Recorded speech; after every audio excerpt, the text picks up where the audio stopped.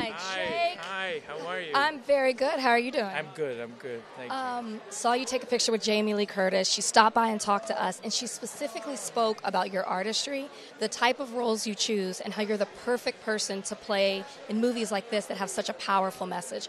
What does it mean for you to hear you say that, hear her say that, your Oscar-winning godmother, I might add, and have her support tonight? Well, she said everything that I wrote down on the text for her to say, so I'm glad she memorized her lines, and uh, that's that's about it. Do you know what I mean? Um, no, I, I mean it's you know she. I mean we, uh, she's known me since I was very little, and there's been a. I think people like her, which now I feel like in this time she's sort of she's been anointed to a bit of a icon status, you know, and people see how extraordinary she is. It's something that obviously she has a, a huge history, but but I think now, right now, people see who she actually is, and I've known that forever. And she's it's just so lovely that she's here. She just is such a huge support, and always has been. Uh, I- I'd love to hear that. I love those type of stories. Now, people want to know, beard or no beard? Well, what do you mean? Right now, Yeah, yeah, I, I yeah, think it's pretty obvious. What do you Oh, prefer? Oh.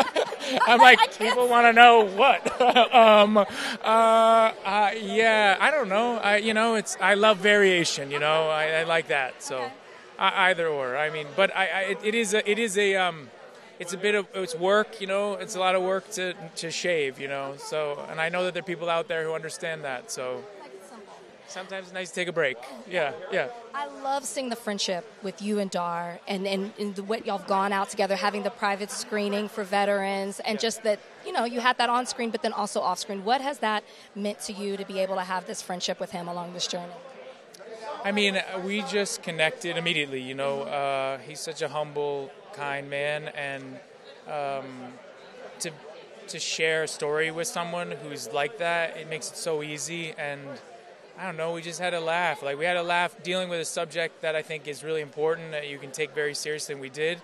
But we had such a great time doing it with Guy, with Dar. Like it's sort of the three of us in that space, and so it's just wonderful. And I also love it because you know, for him, he's like very well known in Denmark, and some people know him here, but I think people really get to know him now, and it's just nice to see him sort of experience this whole thing and see how crazy it is and see how fun it is, and it's really nice. He brought all his guys with him from Denmark tonight. That's what he told me. That's what he told me. He also said he was funnier than you. I, just, I said, It might funnier? be, it might Who's be funnier?" true, actually. It might be true. He's sharper and, and faster. Yeah, that's true.